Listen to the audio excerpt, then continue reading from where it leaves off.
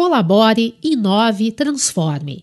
Esse é o slogan da CIT, empresa filha da Unicamp que atua no mercado de soluções em tecnologia da informação lidando com ideias como a impressora digital 3D, aplicativos para óculos virtuais e portais corporativos, a companhia, com sede em Campinas, foca na transformação digital de grandes empresas, a fim de acompanhar as demandas dos consumidores. A CIT ela atua uh, horizontalmente uh, uh, em diversos, suportando diversos segmentos da indústria.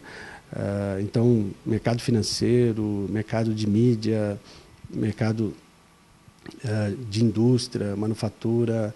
Uh, no fundo, na verdade, tanto no Brasil quanto nas operações internacionais, uh, nós montamos uma estrutura específica para cada indústria e aplicamos o mesmo conjunto de conceitos de transformação digital para cada uma dessas indústrias. O fundador da empresa, com filiais no Brasil e no exterior, comemora a marca de quase 2 mil funcionários e conta como tudo começou.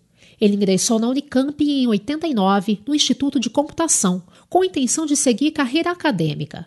Ao visualizar oportunidades na indústria em meados da década de 90, resolveu, junto com colegas, apostar no mercado. A gente precisaria montar um time uh, extraordinário uh, para acompanhar a evolução da tecnologia uh, e, e, isso acho que no fundo eu digo sempre né um pouco de sorte assim, um pouco de coragem, um pouco de ingenuidade, uh, dali nasceu, acho que um conjunto de forças que nos trouxe aí ao longo dos, de 20 anos, né, até aqui. César também pontua a parceria com a universidade para o negócio. Ao longo dos anos, fizemos vários trabalhos de cooperação científico-tecnológica com professores uh, da Unicamp, já fizemos, uh, uh, já montamos cursos de pós-graduação, de extensão junto com a Unicamp e até hoje acho que no, existe uma troca muito grande, né? Eu procuro contribuir também com uma visão de indústria, de mercado. E ainda dá dicas para quem deseja empreender. Se aventurar na, na,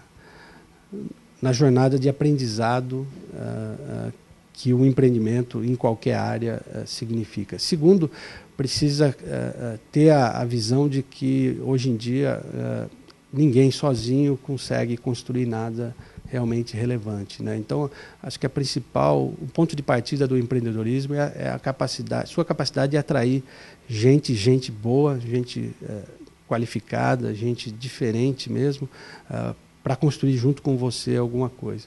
Eu acho que esse, esse é o, o, o ponto de partida.